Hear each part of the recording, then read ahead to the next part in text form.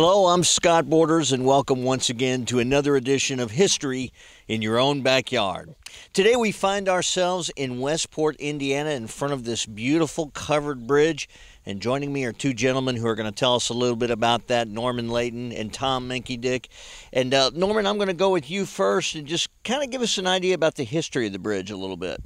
One of the most memorable things that I remember about the bridge is in 1959 when we had a flood and uh, the water was running right through the windows of this bridge right here and uh, a lot of the I was only about 19 or 20 years old at the time, but a lot of the old timers seemed to think that the bridge was going to go. Well, it didn't. And uh, it was running through the windows of that house right there. In 19, 1880, when the bridge was built, uh, this was not the only momentous occasion uh, that happened around here because in 1880, uh, Penn Central Railroad put the railroad through Westport. And two means of transportation were opened up to the people of this community that hadn't been here before. And uh, of course, uh, the bridge was closed in uh, about, what was 74, Tom? 76. It was closed and uh, uh, wasn't, uh, well, it took a lot of money to get it refurbished. And through a, a grant from the Historical Society, National Historical Society, maybe Tom could address that more, but uh, they finally got the money and the bridge just sat there in disrepair for several years and it was going down. And uh, they finally got that grant to uh, repair it and uh, stripped it down to the bare essentials and replaced a lot of it. And uh, I remember a couple incidents that happened when I was down here about every day, just living up the road. And uh, this whole area right over here had sawhorses on it one day, and all the weatherboarding on the bridge was spread out on those sawhorses and that this was there for I don't know two days. I was down here one day and I asked one of the workers why uh, they weren't doing anything with that, and they said they couldn't get a union painter. And uh, I, you know, I didn't know much about that. And uh, one day I came down here at one morning, and there was a guy here, a painter. And I talked with him, and he said he came all the way from Fort Wayne down here just to paint those that siding on that bridge, and uh, he painted it with a with a gun and uh, came down here the next day and the bottom side hadn't been turned over and they hadn't painted them. And I said, "What's going on here?" He said, "Well, we haven't got anybody to turn those boards over."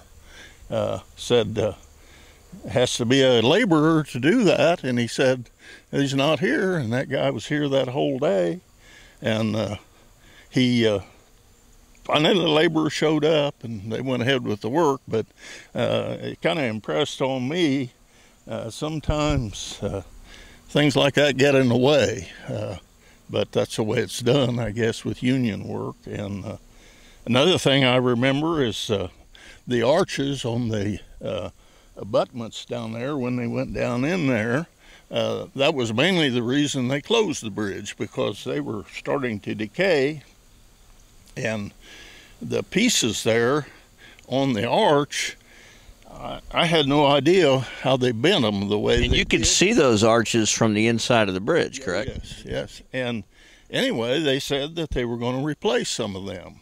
And one day I came down here and they had a low boy uh, loaded up and they had these huge timbers but they were about that wide and as long as each one of those joints was in there and I saw that and I thought well uh, how, how are they going to do this? You know that thing was bent and uh, they uh, got a template and put on. That thing was oh that do you see those Tom when they brought them in uh, that was they were that wide redwood and uh, they scribed a part on that and sought it out, and you can see them what they are today.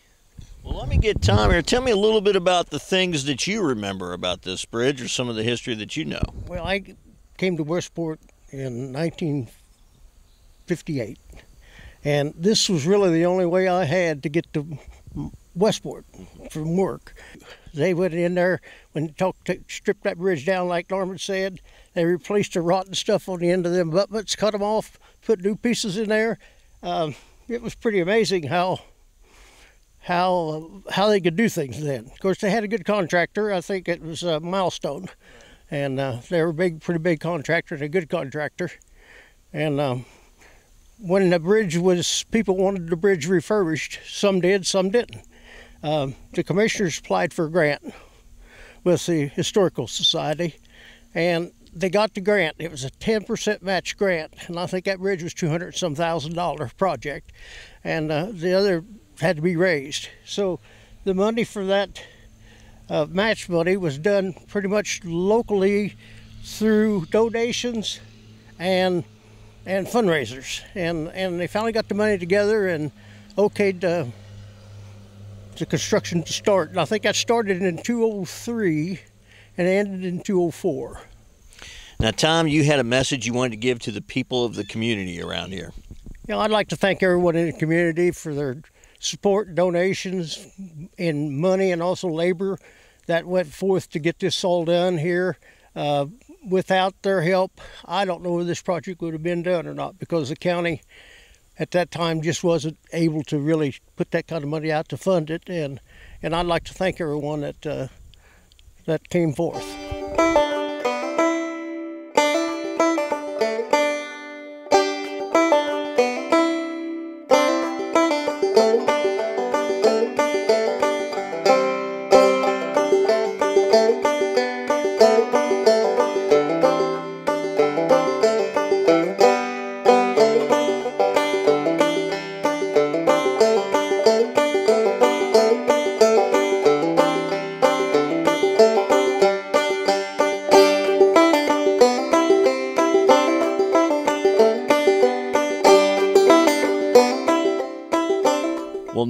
Tom, I want to thank you very much for joining me today on this beautiful day in Westport, Indiana, standing in front of a true piece of history in this covered bridge behind us.